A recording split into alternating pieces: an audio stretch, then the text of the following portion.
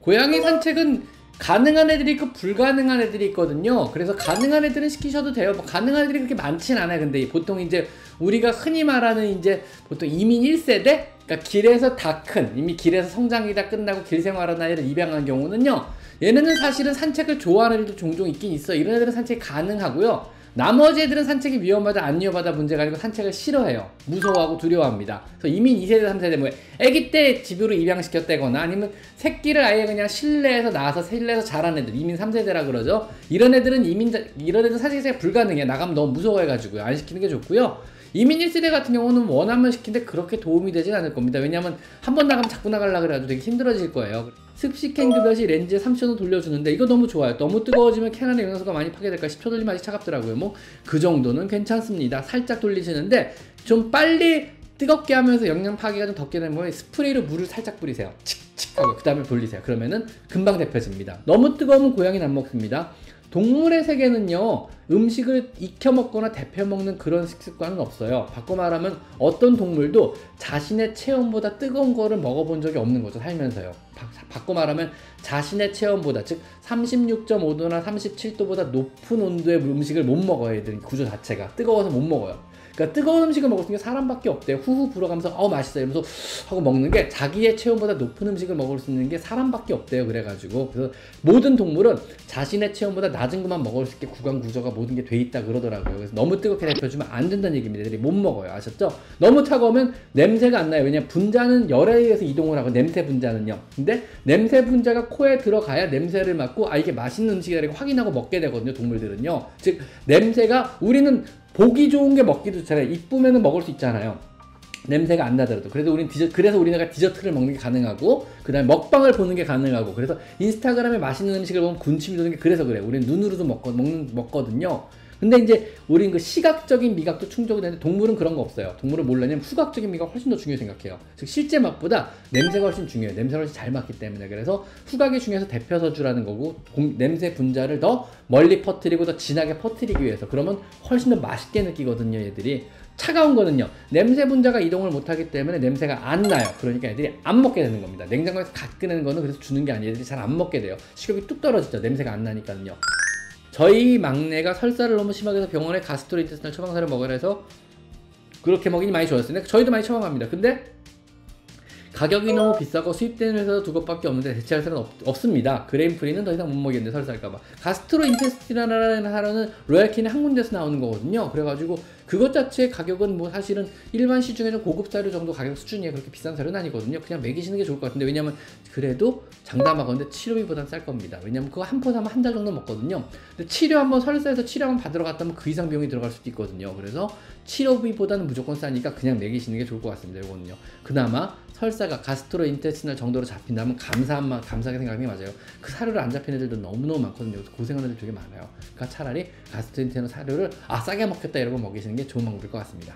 처방 사료를 제대로 공정을 만들어서 같이 공정에 따라서 가, 만들어지는 회사가요 로얄캐닌이라고 힐스밖에 없어요 두 군데밖에 없어요 어차피 세계적으로 나머지는 아, 퓨리나까지 세 군데네요. 나머지는 공정이 어떻게 되는지 잘 모르겠어요. 그래서 이 세 군데가 좀 제대로 만들고 나머지는 이제 공정, 공장을 가동을 중단하고 다시 바꿔 이래가지고 그 사료를 또 만 이런 식으로 나오기 때문에 이게 되게 어려워요. 그리고 비쌀 수밖에 없어요. 그래서 제대로 된 공정으로 제대로 따로따로 라인을 빼가지고 사료 생산하는 거이 정도 회사밖에 없어가지고 일단 뭐 근데 이 정도면 가격이면 사실은 그렇게 비싼 건 아닙니다. 진짜 비싼 사료도 정말 비싸더라고요. 그냥 먹이십시오. 방광염 때문에 항불안제 먹여야 한다면 어떤 약이 좋을 거야? 근데 보통은 항불안제 하면 가바 펜틴을 말해요. 보통 고양이 항불안제는요. 그래서 자꾸 재발하는 방광염은요 보통 대부분 스트레스라고 모든 논문에 표시가 돼서 나와요. 옛날에는 뭐 다른 요인들을 많이 찾는데 요즘엔 그냥 고양이는 정신적인 스트레스가 방광염을 유발한다. 뭐 아니면 뭐 여러 가지가 방광염을 유발한다. 이게 스트레스가 포함이 되기 때문에 불안감을 낮춰줘. 스트레스를 낮추려면 불안감을 낮춰야지 이러고 항불안제 처방을 해야 자꾸 방광하고. 물론 그 전에 해볼 수 있는 환경적인 요소는 다 변화를 주셔야 돼요. 여기에는 뭐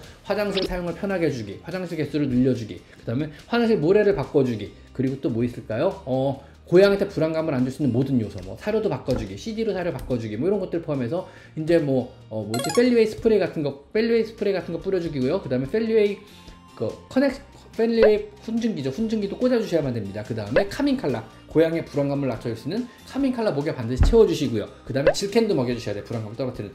이 모든 걸 해도 계속적으로 방광염이 재발한다면 그때부터 약을 먹이는 거죠. 항불안제를요. 약은 마지막 수단이잖아요. 원래요. 잠깐 먹인다고 좋아지는 게 아니에요. 잘못하면 평생 먹여야 되는 약이거든요. 이거는요. 먹는 동안만 잠깐 불안감을 떨어뜨려주는 거니까는요. 그래서 뭐 이거 약으로 어떻게 해결해봐야지 하기 전에 환경적인 모든 걸 완전 완벽하게 다시 해보시고 그래도 안 된다 그러면 그때 가서 항불안제를 평생 먹이느냐 마느냐 이거 행동학선생님하고 상담을 해보셔야 돼요. 그런 그런 것들은 상담을 통해서 보통 결정을 하거든요. 그래서 상담을 해보신 게 좋을 것 같습니다.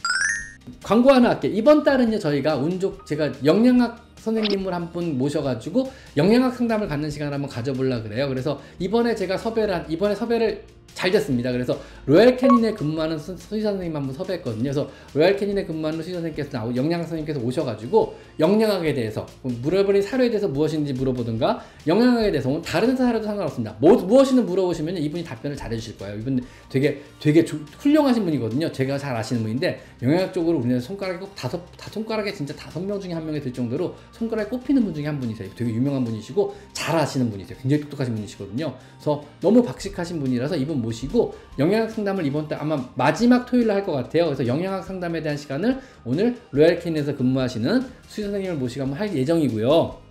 그 다음 다음 달에나 다다음 달쯤에요. 지금 섭외를 하셨는데 시간이 바쁘시다 그래서 제가 시간을 좀 보고 있는데 어, 서울대 수의 서울대 수의과 대학에 어, 그 마취과 교수님을 모셔놓고 마취에 대한 얘기를 한번 가져보려 그래요. 그래서 이인영 교수님이신데요, 마취과 서울대 이인영 교수님은 마취 프로 프로토콜은요. 우리나라 모든 동물병원에서 모두 사용을 하고 있어요. 이영선 교수님이 새로운 마취 프로토콜을 만들면 우리나라 대부분의 동물병원의 마취 프로토콜이 다 바뀌어요. 그러니까 우리나라 마취의 최고 권위자시죠. 왜냐하면은 이분이 제, 배출하신 제자분들이 지금도 수의사들을 강의를 하고 다녀요. 강사로서요. 수의사들한테 마취를 가르쳐요. 그리고 이분이 배출하신 제자분들이 지금 대부분의 대형병원에서 마취과 과장님으로 근무하고 계세요. 뭔지 아시겠죠? 그래서 이분이 우리나라의 그냥 모든 마취, 우리 병원, 제 병원의 마취 프로토콜도 사실 이인영 교수님이 개인적으로 만들어주신 마취 프로토콜이거든요. 그래서 이인영 교수님을 뭐 이번 다음 달이죠. 5월 달이나 6월 달 정도 모시고 앉혀놓고 오늘은 마취에 대한 얘기를 한번 갖는 시간을 한번 가져보도록 여러분이 마취에 관심이 있다 그러면은 뭐 이인영 교수님 모셔놓고 서울대 수의과 대학에 이인영 교수님 모셔놓고 마취에 대한 얘기를 한번 해보는 것도 재밌을 것 같습니다. 그래서 다음 이번에 연양학 선생님 모셔놓고 영양을 얘기하고요. 그 다음 초대 손님으로는 마취과 교수님 모셔놓고 우리 마취에 대한 얘기를 한번. 그래서 실제로 마취하면 얼마나 위험한지, 실제로 이런 경우 마취해도 괜찮은지, 마취해서 못 깨어났는데 왜 그런 건지, 마취 이런 경우 마취해서 못 깨어난 게 정상이었는지, 이래서 마취 이런 이런 경우 마취해도 안전한지, 마취가 얼마나 실제 위험한 건지, 마취가 도대체 뭔지 이런 거에 대한 얘기를 한번 듣는 시간을 가져보는 것도 괜찮을 것 같습니다. 그래서 고양이가 옷을 뜯어먹고 토해요. 요거 강박증일 가능성이 높습니다. 요거는 심각하게 동물병원 가서 지금 어, 떤 상담을 좀 받아보셔야 돼요. 고양이가 옷을 뜯어먹는 건 천에 대한 울서킹 신드롬이라 그래요. 그래서 제 영상 중에 울서킹 신드롬 아니면 고양이 강박증으로 찾아보시면 영상이 뜰 거예요. 그거 한번 검색해 보시고요. 비닐을 뜯거나 천을 뜯는 건 대부분 울서킹이고 샴 고양이들이 주로 많아요. 샴 고양이하고 아베시니안도 종종 있고요. 그 다음에 범한 같은 고양이도 종종 보이는 거거든요. 이런 종류 코비실 고양이들이 주로 많고요. 입으로 하는 강박증 중에 일환으로 결국은 애들이 수술 한 세네 번 받다가 죽는 애들도 종종 있어요. 이거 어, 계속 뜯는 거라서 요거에 대한 해결책은 뭐 약을 약도 먹여야 되고 모든 거를 감추고 치워야 되는데 사실 강박과 관련된 충동 조절과 관련된 거는요. 일단 약을 좀 오래 쓰셔야 되고요. 그 다음에 약을 써도 효과가 바로 드라마틱하게 딱 좋지는 않아요. 그래서 좀 오래 끌어요. 그래서 어느 정도 좋아지는 걸 기대하고 완전 좋아지는 게 아니고 어느 정도 좋아지는 걸 기대하고 약을 되게 오래 써요. 보통 약 효과가 나타나는 데까지 이런 충동 조절과 관련된 약들은요. 이게 강박증 충동 조절이거든요. 보통 최소한 두 달 이상은 써야 조금 조금 효과가 나타나기 시작해요. 그래서 그 이후에 이제 효과가 나타나는 거라 이건 약 오래 써야 되고 이건 심각하게 선생님하고 상의해 보셔야 되고 특히 천 먹는 거 비닐 먹는 거 위험한 거거든요. 고무줄 먹는 거 이런 것들 고무줄 천 종류 이걸 대부분 뜯어 애들이 그리고 대부분은 또 샴고양이들이 많아요. 그리고 대부분 아기 때 엄마 젖을 일찍 뗀 애들이에요. 그래서 입으로 하는 어떤 습관들이 남은 거예요. 그래서 아기들 데리고 오면 공갈전 물려 전 물, 젖병 물려줄 때 오래 물려주라 그래. 3개월까지 물려주라 그래 일부러. 그래서 엄마 젖을 뗐어도요 공갈 젖 꼭 자꾸 물려주라 그래. 입으로 하는 강박증이 커서 안 생기게 하려고 입으로 하는 걸 자꾸 자꾸 하는 거예요. 강박증 고치는 게 아니라 사람 강박증도 못 고쳐요. 약 먹어서 그냥 현상 유지만 사, 회생활 할 정도로 현상 유지만 하는 거예요. 약 끊으면 사회생활도 못해 사람들 강박증 있는 환자들은요. 이것도 약 먹여서 근근히 유지하는 거예요. 그러다가 뭐 보통은 10번 뜯을 거 약 먹기 시작하면 두세 번밖에 안 뜯으니까 그래도 얘가 수술을 막 10번, 살면서 평생 수술 10번 할까 살면서 수술을 두세 번만 해도 되니까. 이렇게 생각하시면 돼요. 너무 많이 먹으면 수술해야 되거든요. 수술해서 꺼내야 되잖아요. 뱃속에 들어간 것들을요. 왜냐면 점점 심하게 먹거든요, 애들이요. 그래서 강박증은 막을 방법이 없어요. 그래서 씹을 수 있는 모든 걸 치워주라는데 천 종류는 치울 방법이 없잖아요. 비닐은 치울 수 있어요. 박스도 치울 수 있어요. 고무줄도 치울 수 있어요. 청소만 잘하면 돼요. 근데 천 종류는 방법이 없어요. 실내에서요. 왜냐하면 커튼 다 없애, 카펫 다 없애, 소파도 천에서 레자로 다 바꾸고 침대는 어떡할 거예요? 이불은 어떡할 거예요? 옷은 어떡할 거예요? 옷장에다 집어넣고 침대에다 치고 이러고 생활하는 수밖에 없어요. 치워도 치워도 치워도 안 되면 약 먹여야죠 이거는 강박증 약으로 바뀌게 안 됩니다. 훈련이나 교육이 되는 게 아니거든요. 왜냐면 뭐 참아라가 안 되는 거라 그래 이런 정신과 질환들은요. 그래서 안 돼요. 사람도 이것 때문에 고생하고 힘들어하는 사람들 되게 많아요. 그래서 옛날에 깜짝 한번 놀란 게요. 제가 사실은 그래서 TV 별로 안 좋아하는데요. 모, 모 동물 X 프로에서요 고양이인데 강박증이었어요 내가 보니까 천을 물어뜯는 것 때문이었는데 이거를 갑자기 뭐 뭐 레몬즙을 뿌려라 뭐 이런 식으로 깜짝 놀랐어요. 왜냐면 못하게 하면 더 하거든요. 치워야 되는 거고 그다음 약을 먹여야 되는 거를 뭐 레몬즙을 뿌려라 그다음에 뭐 맨솔에 담을 뿌려라 이런 식으로 해서 접근을 못하게 하시면 됩니다. 이러고 따다다 이러고 해결 뭐 솔루션 뭐 이렇게 끝나더라고요. 제일 안 좋은 게 그거거든요. 못하게 하는 거 억지로. 그래서 물론 냄새가 나면 접근 안 하고 안 씻겠죠. 근데 어느 순간에 냄새가 없으면 더 많이 씻게 돼요. 왜냐면 못하게 했던 건 고물처럼 팡하고 튕겨나서 더 많이 하게 되거든요. 결국은 걔는 죽을 거예요 아마. 그런 식으로 해결을 하다가는요 결국은 더 심하게 씻기 때문에 결국은 장폐색으로 사망할 수밖에 없어요 그런 애들은요. 그러니까 그건 절대 솔루션이 아니에요. 그건 증상을 악화시키는 거죠.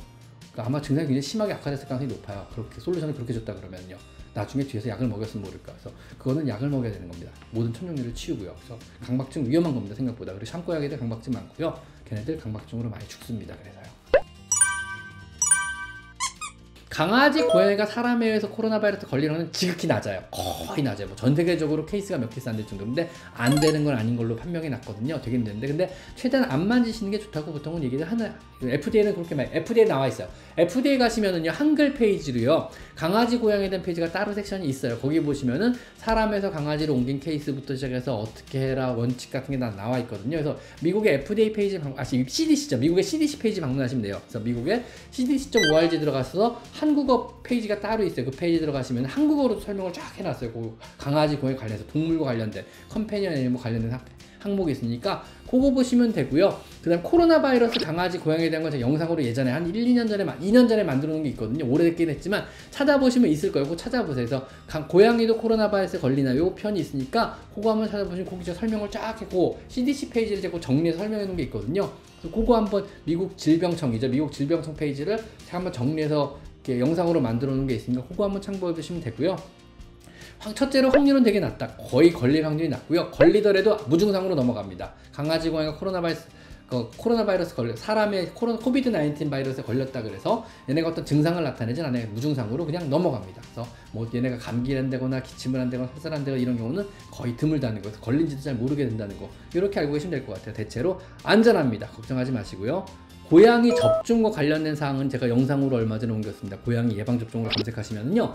한 세 달쯤 전에 제가 고양이 예방 접종을 총 정리해서 올린 게 있거든요. 고양이 예방 접종 이렇게 해서 1년에 한 번씩 맞아라. 이런 상황은 3년에 한 번씩 맞아도 된다. 이런 경우는 1년에 한 번씩 권장된다. 그래서 전 세계 전 세계 세계 수의사 대회 권장 사항은 이거다. 근데 우리나라의 권장 사항은 현재로서는 이거다. 그래서 이런 경우는 이렇게 해도 되고 이런 경우는 이렇게 된다. 이거는 안, 이 백신은 안 맞는 게 좋다. 이 백신은 맞는 게 더 이득이다. 이 백신 되도록 한 달 만에 한 번씩 맞아라. 이 백신은 안 맞는 게 나으니까 이런 상황이 아니면 굳이 맞을 필요 없다. 이런 상황이면 이 백신까지 맞춰야 된다. 이런 모든 고양이 관련된 모든 백신을 정리해서 올렸거든요. 그래서 그 영상은 제가 그냥 임의로 만든 게 아니고요. 첫째, 세계 고양이 수의사 대회 권고 사항, 고양이 백신에 대한 그것과 한국 고양이 수의사회 권고 사항, 그것과 그 다음에 저의 의견을 다 합쳐가지고 만들어낸 영상이에요. 물론 그거는 사실은 그 베링거 인게라임의 어떤 어떤 지원을 받아서 그래서 만들어놓은 어떤 일종의 광고 광고 캠페인 영상이죠. 캠, 캠, 광고 캠페인 영상인데 그치만 모든 고양이 백신에 대해서 우리나라의 어떤 표준을 한번 만들어 보려고 여러 단체와 고양이 수의사회와 이미 고양이 수의사의 협조를 구하고 세계 수의사대 프로토콜을 참조해서 만드는 영상이니까 그 영상을 참조하시면 백신에서는 어느 정도 정리가 될 것 같아요. 그 영상을 한번 보시는 거 좋을 것 같아서 그거 되게 어렵게 만든 거 그거 그 영상 만드는데 한 달 넘게 걸렸어요. 그거 협의하고 만들고 교수님한테 물어보고 그 다음에 그거 참 수의 사님만 다섯 분하고 그러니까 내과 강의를 하시는 수의 사님하고만 다섯 분 정도 상담하고요. 그 다음에 고양이 수의사 회장님, 고양이 수의사에게 어, 총무 부회장님, 그 다음에 어, 어, 그 다음 또 누구지? 그 다음에 그 세계수의학회 권고사항들 전부 다 참고해서 만든 겁니다. 그냥 만든 거 아니거든요. 그거 한번 보시면 될 것 같아요. 그래서 뭐 일개 유튜버가 뭐 수의 접 접종 프로토콜을 뭐 이거 아니고요. 진짜 다 참고해가지고 다 협조 구해가지고 거기 보면 고양이 수의사 협조까지 다 적, 적어놨어요. 그래가지고 그래서 그리고 내과 교수님하고 협조한 거였죠. 내과 교수님하고 얘기 다 끝난 얘기 다 한 거예요. 전부 다. 그래가지고 확인 받고 confirm 다 받고 그리고 올린 거예요. 그래서 여기저기 다 reference 보내드리고 이렇게 이거 어디 고칠 데가 있나요? 이 정도면 어떨까? 이런 식으로 다 확인 받은 겁니다. 하나 하나 다. 사실 공격성 관련된 건 간단하지가 않아요. 그거는 사람이 다치는 문제이기 때문에 또 이것도 중요해요. 얼마나 다치는지. 그리고 노, 노인분이 계신지 어린애 계신지 해서 응급성 응급도가 달라요.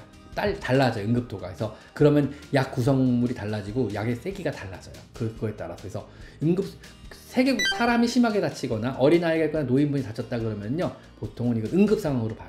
그래서 약이 세게 들어가요. 처음부터. 무지 세게 들어가요. 쓸 수 있는 약 다 쓴다고 표현을 해요. 왜냐면 안 그러면 안락사당하거나 안 그러면 얘가 내쫓기기 때문에 그래요. 그거는요. 그래서 이 질문 내용 중에 이런 것도 있어요 심지어는요 마지막 질문들 중에 하나인데 이거는 보통 내가 응급도를 판단하기 위해서 넣는 질문 중에 하나거든요.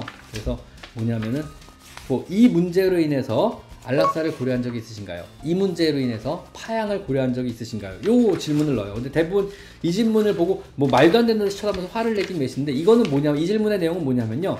얘 응, 현재 상황의 응급성을 판단하려 그러는 거예요. 왜냐하면 이게 지금 그런 것까지 고려할 정도라고 하면 응급이라고 보통은 보고요. 이때는 약이 완전 달라져요. 그래서 지금 안락사를 고려한 적이 있습니다. 파양을 고려한 적이 있습니다. 이 얘기 듣는 순간에 내가 기존에 1차, 2차, 3차 중에 바로 3차로 넘어가요. 약 자체가. 보통 이거 받으면 제가 1차, 2차, 3차 약을 미리 다 정리해놔요. 1차 시도 2약, 2차 시도 이거 안 들으면 2차 시도 2약, 그다음 3개월 뒤에 안 들으면 3차 시도 2약 이렇게 딱 적어놨다가 갑자기 얘기하는 도중에 갑자기 뭐 파양을 고려한 적이 있습니다. 그럼 바로 3차로 넘어가요. 약, 약 처음부터 그냥 아예.